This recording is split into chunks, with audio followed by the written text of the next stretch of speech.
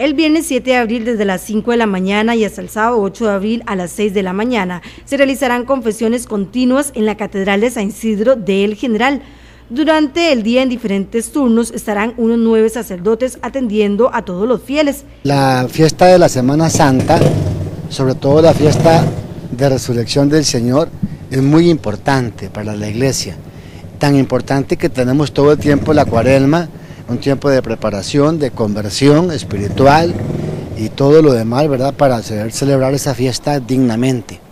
El Papa siempre nos pide, ¿verdad?, que durante la cuaresma le regalemos un día al Señor.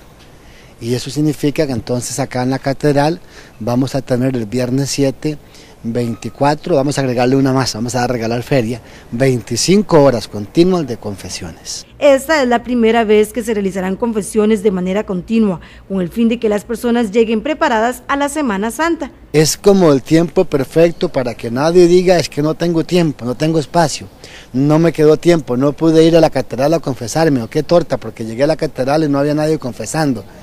Queremos regalar esas 25 horas, eh, yo digo, para mí serían como las 25 horas de la misericordia del Señor, donde Él está esperando que tú llegues a reconciliarse con Él para que te pongas en paz y ya, muy cercanos a la Semana Mayor, poder prepararnos dignamente para esto. También la otra semana se darán confesiones. Lógicamente la próxima semana, de lunes a viernes, todos los días tendremos confesiones, lunes y martes y miércoles santos, todos los días tendremos confesiones durante todo el día para ofrecerles este servicio a la iglesia. Con esta iniciativa esperan que más fieles se acerquen a la catedral.